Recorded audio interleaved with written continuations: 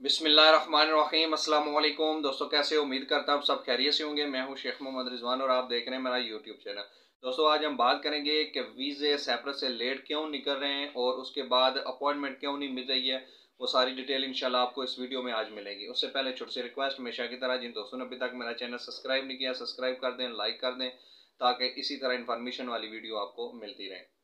तो दोस्तों, शुरू करते हैं अपना टॉपिक के अगर आपने वीज़ा जमा करवाया है और आपका वीज़ा वहाँ से निकल आया है। एजेंट ने आपको वीज़ा बताया कि निकल आया, सिर्फ़ पुलिस वाले के पास पड़ा हुआ है वहाँ पे पुलिस वाला क्लियर करेगा।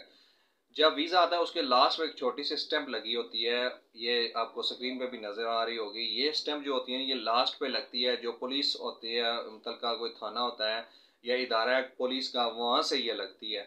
आजकल वो वाले स्टैंपें नहीं लगा रहे हैं। बहुत ज़्यादा इशू बना हुआ है।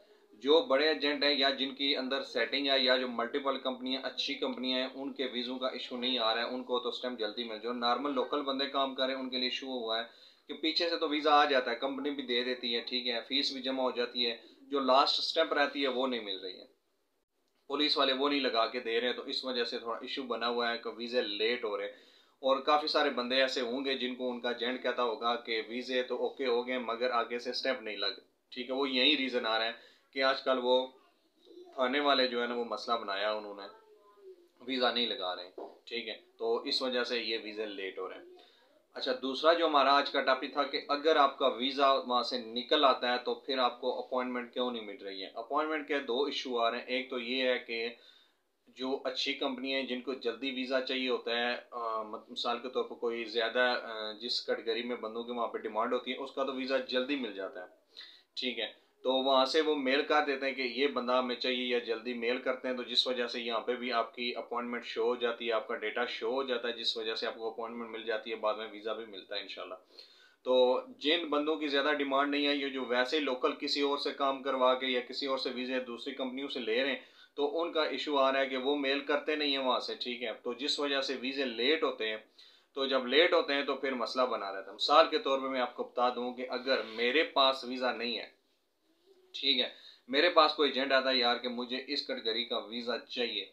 तो मैं वो वीज़ा क्या करता हूँ, निकलवा तो देता हूँ। ठीक है, मगर मुझे बंदे की ज़रूरत नहीं है कंपनी में। मेरी कंपनी है और मुझे कंपनी में उस बंदे की ज़रूरत नहीं है या उस कैटेगरी की ज़रूरत नहीं है। वीज़ा तो मैं निकलवा दूँगा पैसों के लिए, ठीक है। पैसे तो ले लेंगे। फिर बाद में ये होता है, जितना भी लेट होता है, लेट कर लेते हैं। और जिस बंदे की डिमांड ज़्यादा होती है किसी भी कैटेगरी में, उसका वीज़ा जल्दी वहाँ से भी आ जाता है और उसके बाद उसका सारा डेटा भी, मेल भी जल्दी हो जाती है, जिस वजह से वीज़ा जल्दी मिल जाता है।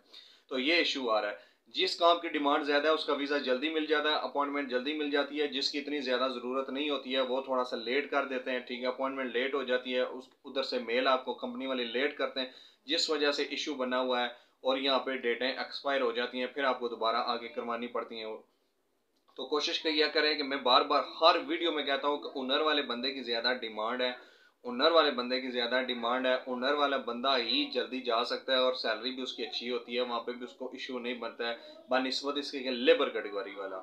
लेबर में जाएगा तो कभी एक काम के साथ, कभी दूसरे काम के साथ, ठीक है, फिर खास करके निशात का काम, जो बिल्डिंग लाइन का काम होता है, एक दिन उन्होंने बिजली वाले के साथ भेज देते हैं, एक दिन वो मिस्त्री के साथ भेज देते हैं, एक दिन वो सेंट्री वाले के साथ भेज देते हैं तो वो इशू बने रहते हैं। इस वजह से कोशिश करें, अगर आप तालीम भी तो हमारी जो है जितनी है, उसकी तो वैसे भी इतनी ज़्यादा नहीं है। तो अगर आपके पास तालीम नहीं है तो उनर लाजमी होना चाहिए भाई। उनर होगा तो इनशाला आपको मसला नहीं बनेगा सैप्रस नहीं, बाकी भी सारी कंट्रियों में।